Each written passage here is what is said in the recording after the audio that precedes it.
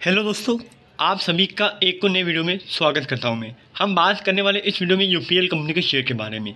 मैंने आपको कल के वीडियो में बताया था कि यूपीएल कंपनी आज लगभग आपको पाँच सौ रुपये तक की प्राइस इजली देखने को मिल जाएगी, क्योंकि कल प्राइस काफ़ी कम थी और स्टॉक में काफ़ी ज़ोर भी दिया गया। आज लगभग फोर नाइन्टी एट रुपीज़ के आस आसपास स्टॉक जाके आया है मार्केट में।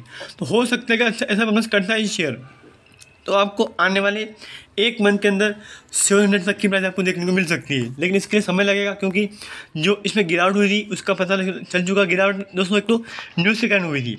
कोई न्यूज़ गलत न्यूज़ आती मार्केट में, उसके कारण स्टॉक में गिरावट हुई थी। और दूसरा रीज़न ये है कि इसका क्वार्टरली रिज़ल्ट काफ़ी ख़राब आया था। अब दोस्तों, इसमें रिकवरी होने में टाइम लगेगा। अगर इसमें इन्वेस्ट करने सोच रहे हो आप तो करंट प्राइस में इन्वेस्ट कर सकते हो। लेकिन अगर इसमें इन्वेस्ट कर रहे हो आप तो लॉन्ग टाइम में इन्वेस्ट करो। कम से कम लॉन्ग टाइम में आप सिक्स मंथ या एक साल के लिए। अगर सिक्स मंथ की बात करूँ मैं तो आपको सात सौ से आठ सौ रुपये का टारगेट आपको लेकर चलना है।